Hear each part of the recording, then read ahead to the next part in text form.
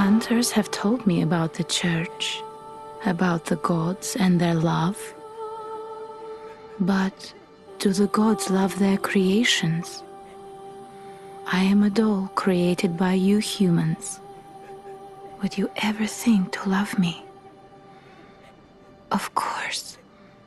I do love you. Isn't that how you've made me? Farewell, good hunter. May you find your worth in the waking world.